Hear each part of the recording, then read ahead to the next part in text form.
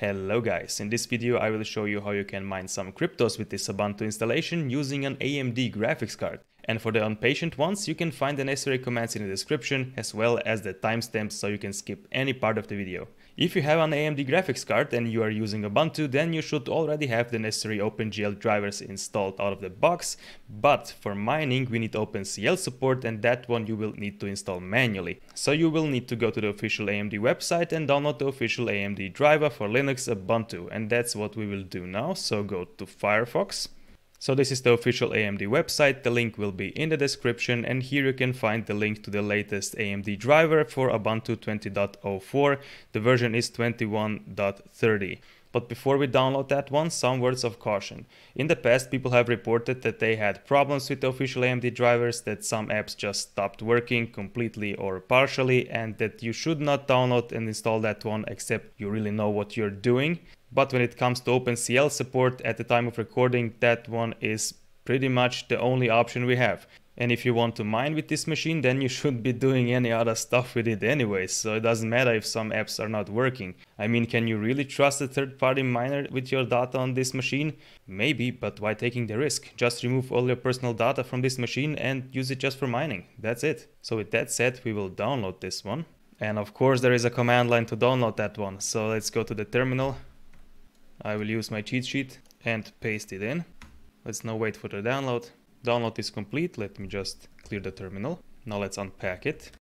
Let's go into the folder. And now let's go back to the AMD website and down there you will find the link installation instructions. Open that one. And here you will find installing and uninstalling AMD GPU. And if you scroll down, here you will find the installation commands that you need to execute in order to install the driver.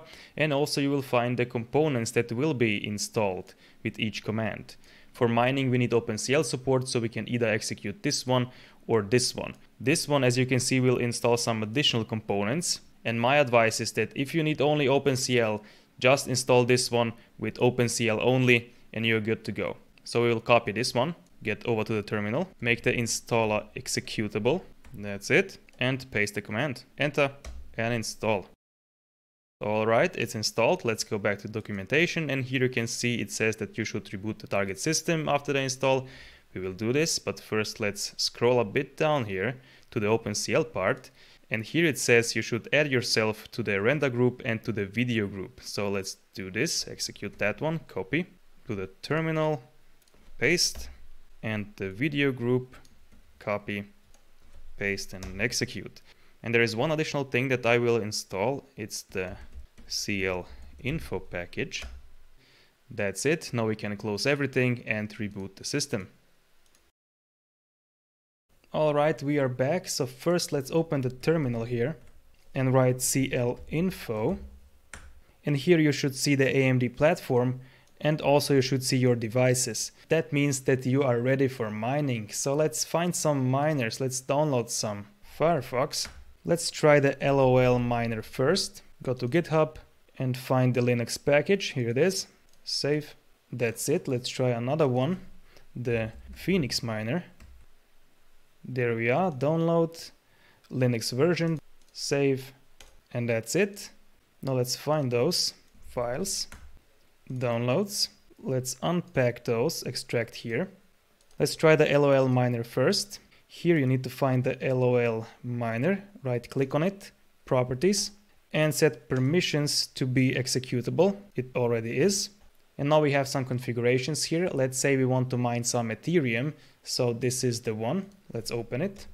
This is how the configuration looks like. The pool is 2Miners and here is the wallet address. So you should replace this one with your wallet address. I will just use this one for demonstration and that's it. Close that one, right click on it, properties, permissions, make it executable. It already is, that's okay. Now right click in the folder and open in terminal. And let's start the miner, Ethereum, enter.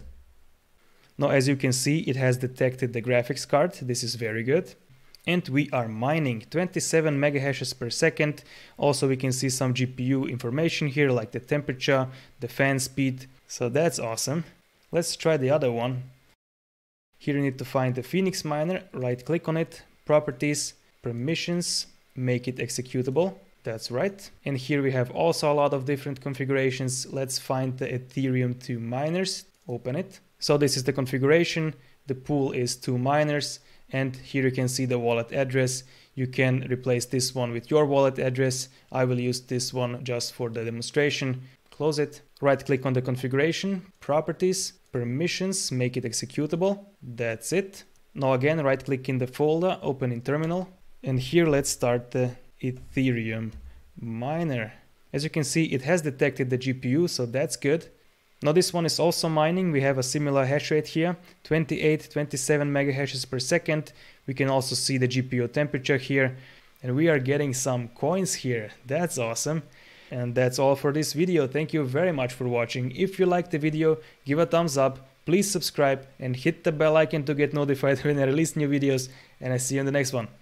Bye.